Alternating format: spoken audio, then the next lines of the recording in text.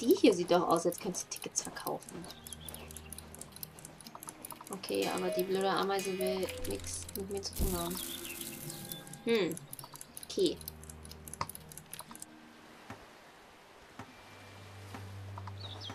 Der baut weiterhin seine Boote.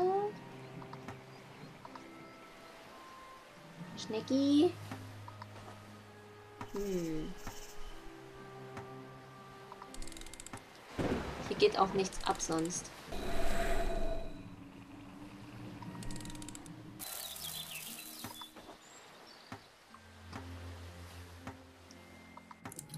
Okay.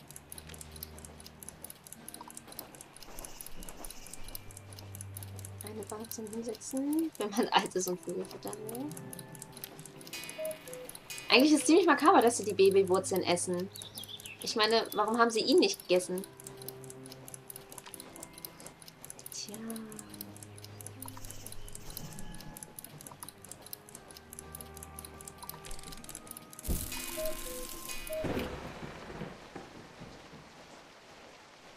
Ja, der blöde Karren, aber mit dem können wir ja nichts machen. Mit dem Winter ist nichts los. Können wir einbrechen? okay. Es sollte bei solchen Games immer die Möglichkeit geben, allen anderen Figuren hart in die Eier zu treten. Das stimmt allerdings. Was habe ich? Osu ausprobiert? Nee, noch nicht. Noch nicht, noch nicht.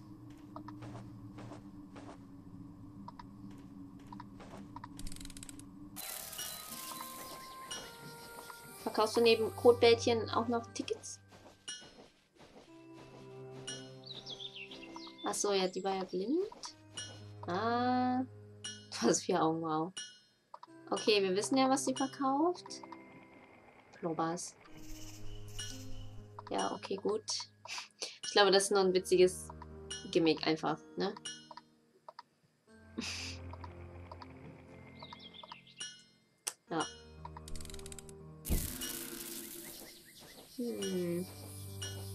Vielleicht noch was in der Bibliothek?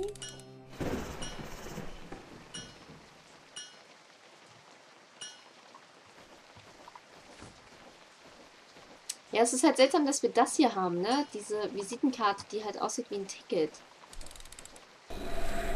Hm.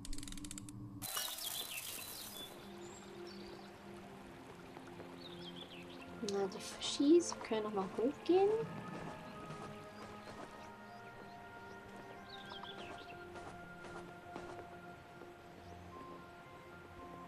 Okay, was auf dem Schild steht, wissen wir schon.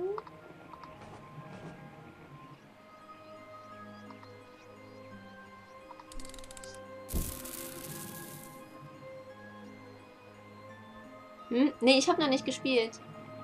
Oh, oh Zuckers Unite. das ist ein anderes Spiel. Spielt jemand von euch Fortnite? Lohnt sich das zu spielen? Du gehst schlafen. Schlaf gut. Hm. Ja, hier gibt es irgendwie auch nichts zu holen. Also... Ticket. Achso, sie haben ja nur...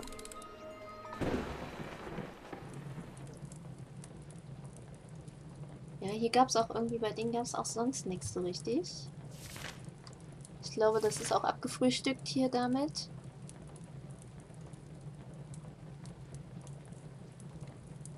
Kann man sich sparen? Ist ein Scheißspiel? Okay. Bitte spiel es nicht.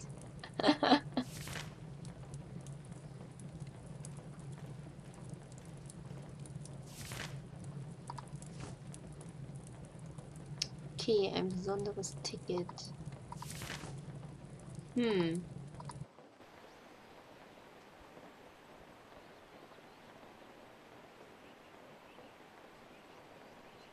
Darwin Project? Okay. Aber vielleicht springen wir jetzt einfach. Reicht jetzt auch mal.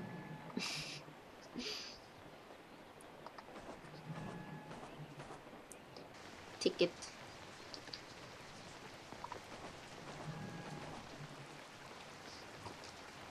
Das Ding ist, es ist halt nicht mehr viel übrig, ne?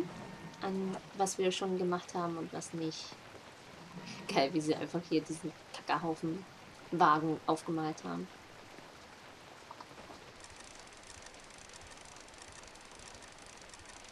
Hm.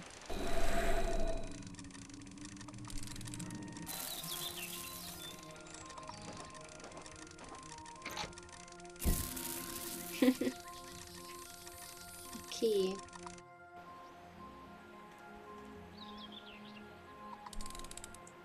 Vielleicht müssen wir echt nochmal mit der Heuschrecke quatschen. Würdest du gerne mit mir warten? Tja, wir müssen leider nach Hause. Du bist zu Hause, mein Freund. Das Universum ist dein Zuhause. Tja, was riecht hier so? Oh, upsi, mein Pupser, damit die Dunkelheit mich nicht heimsucht, weißt du? Okay. Das ist aber seltsam. Ich sehe gar keine Dunkelheit. Oh mein Gott, der ist wirklich schlimm. naja, ich muss los. Tschüss. Wow, okay. Hatten wir diese Unterhaltung jeweils schon mit ihr? Dich im Herbst in der Bar zu sehen. Okay, im Herbst in der Bar. Kann ich was von dir kaufen? Negativ. Gut. Hm.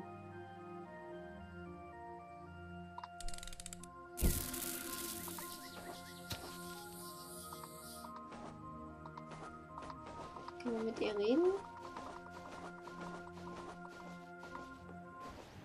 Nee, können wir irgendwie nicht. Hm. Okay.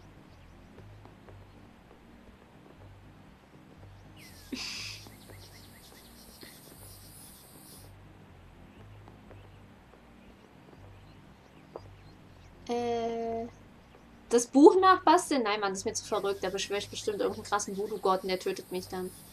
Das ist Feli als Käfer, ja, ist wirklich so. Was? Kannst du mal bitte hinter die Bar gehen und mal nachschauen, warum da Holz rumliegt? Ah. Na Mensch. Gut, ähm. ja, Katze, besorg mein Ticket. Von daher, vielleicht kannst du eins klauen. Aber ich will nicht stehlen. Wir leihen es uns nur, Kätzchen. Wir gehen später zurück, okay? ja, triggert einen, dass äh, die Zitronen da nicht nochmal rausfallen, ne? Das stimmt schon.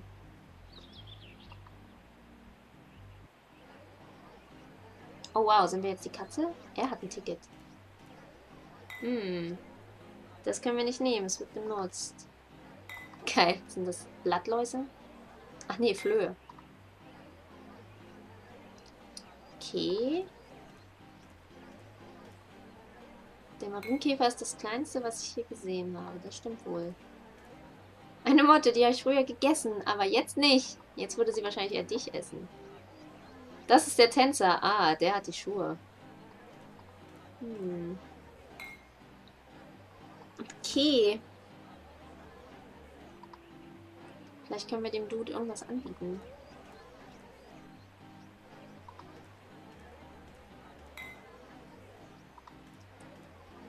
Okay.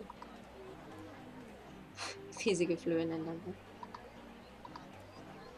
Das ist der Barkeeper. Er arbeitet. Okay.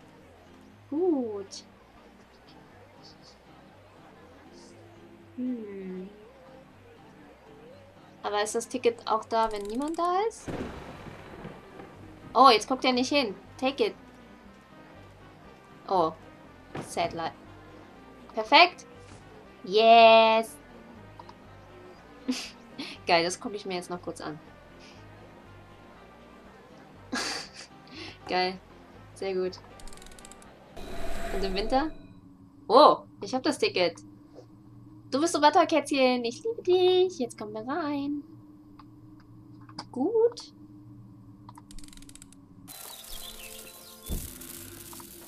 Look at my ticket.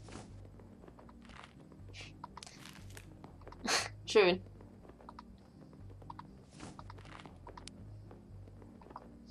Wenn ich nächstes Mal eine Party feier, lasse ich meine Tickets auch so aussehen. Schauen Sie mal, es sieht so aus, als hätte ein Ticket den Weg in meine Hände gefunden.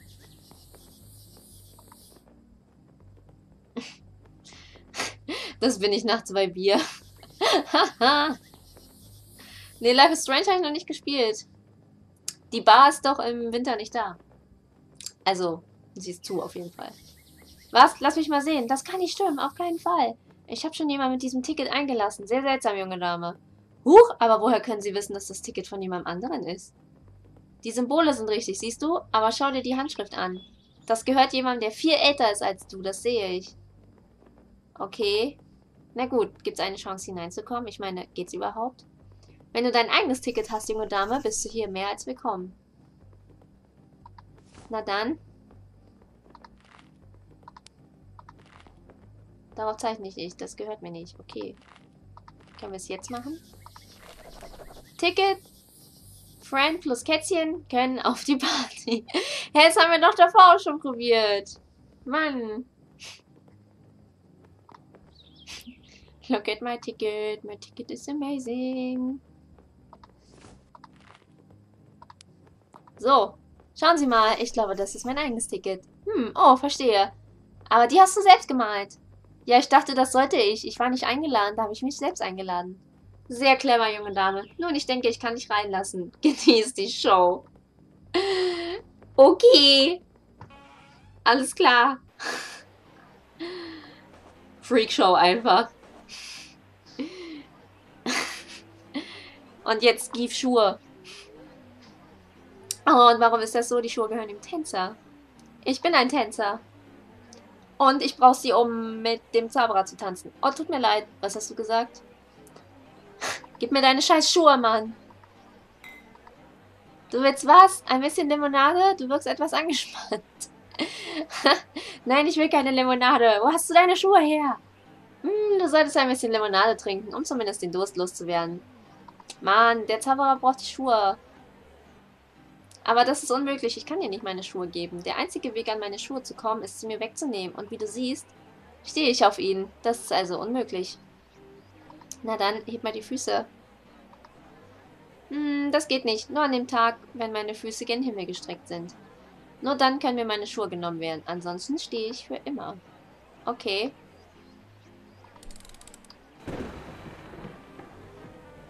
Geht das jetzt? Tja. Ich glaube, er ist sehr konzentriert. Das glaube ich auch. Okay.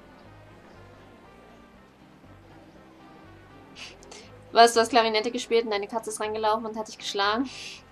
Tja. Jedi Geistestrick. Du möchtest mir meine Schuhe geben. Okay. Im Winter ist hier nichts. Das kennen wir schon. Achso, im Frühling ist zu. Hm.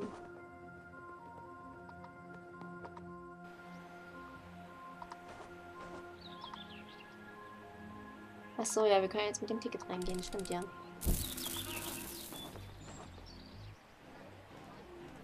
Wenn seine Füße gen Himmel gestreckt sind. Was? Du wohnst in Norditalien? Das ist ja krass. Abgefahren. Okay, das ist eine Ausrede, um nicht zum Kawaii Festival zu kommen. Das ähm, akzeptiere ich. Tötet es mit den Zitronen. Tötet ihn. Ja, Mann, voll. Hm. Okay, okay, okay, gut. Das hatten wir schon. Dann würde ich sagen...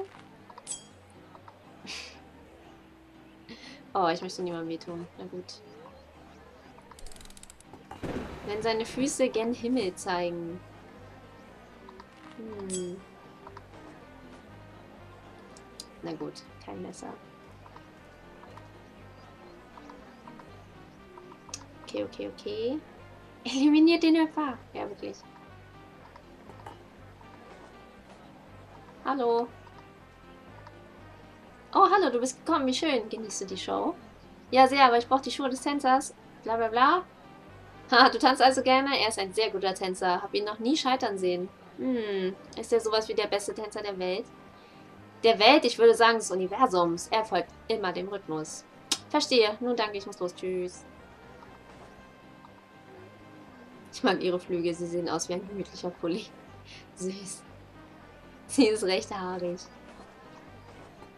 Hm. Also wir müssten ihn eigentlich zum Stolpern bringen, ne? Okay.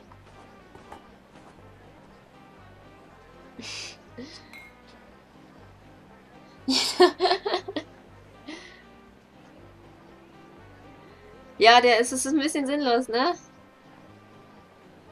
Nein, das Festival ist am 28.07. Pläne für den Sommer, ja, Kawaii Festival machen und danach ähm, nichts machen für den Sommer und mal frei. Ist auch mal schön. Hallo. Oh, da redet einer mit uns. Äh, tschüss. Gutes Gespräch. Hallo. Hallo, wie geht's dir? Kennst du Mr. Antonio? Den größten? Natürlich, er war ein großer Trompeter vor einigen Jahren. Meine Mutter liebte seine Musik. Ja, wir haben ihn gesehen. Er war also real. Ich habe ihn in der Welt der Menschen gesehen. Er ist jetzt der alt. Wow, die Welt der Menschen. Nun weißt du, wir wollen im Alter andere Realitäten besuchen, um zu sehen, ob wir was verpasst haben. Menschen machen das nicht. Nee. Oh, darum war er da in meiner Realität. Wir Menschen tun sowas nicht, glaube ich. Oh, schade, das macht Spaß. Ich bekomme gerne Briefe von meiner Mutter. Sie erzählt mir viel. Ha, das klingt gut. Okay, bye. Ich frage mich, ob diesen Insekt auch äh, in meinem Garten sind. Bla bla bla. Okay. Hallo. Hast du mein Ticket gesehen? Hm, ich glaube, hm, ich muss gehen. Können wir es ihm geben? Hier ist dein Ticket. Tut mir leid, aber ich habe es genommen und wollte es zurückgeben. Oh mein Gott, du bist sehr nett. Danke dir. Vielen Dank. Errungenschaft freigeschaltet. The Kind Thief. Gut. Die stören wir jetzt nicht. Falls sie je aufhören. Ist ein bisschen wie die Kantine, ne? Ich warte, bis sie nicht mehr spielen. Hm. Nee, nee, wir haben es äh, von Freitag auf Samstag verlegt, weil es mehr Sinn macht. Ah ja, es ist am 28.07. Ah, du ziehst um davor, das wird cool. Habt ihr schon was? Hm. Okay.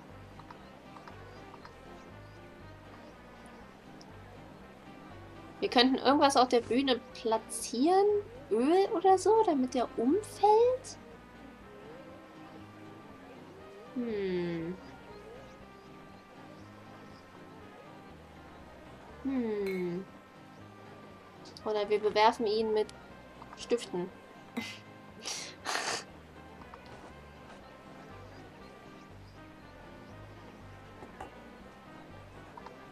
Also das hat auf jeden Fall ein bisschen zugenommen an Schwierigkeitsgrad hinten rauf, ne? Okay, wir, wir können ihn mit Geld bewerfen. Manchmal klappen Dinge einfach nicht. Okay. Aber können wir vielleicht... Hm...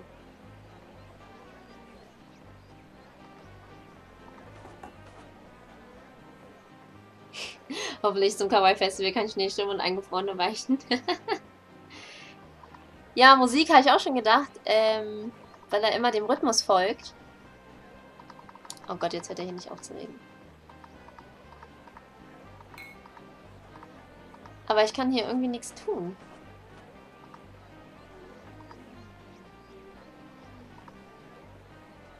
Aber wir können ja nochmal raus und in der anderen Jahreszeit versuchen reinzugehen.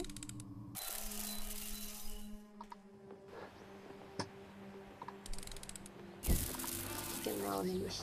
yet.